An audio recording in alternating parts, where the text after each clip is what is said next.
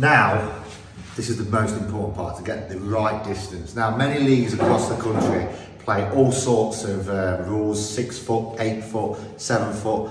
The PDC and most recognised bodies, it's seven foot nine and a quarter from the wall. However, Johnny's going to tell you the distance diagonally from the bullseye to the floor. What is that, Johnny? It's 2.93 metres from the bullseye down to the oche down there. 2.93 metres, that's Johnny, tradesman. Hello, Johnny. Hello.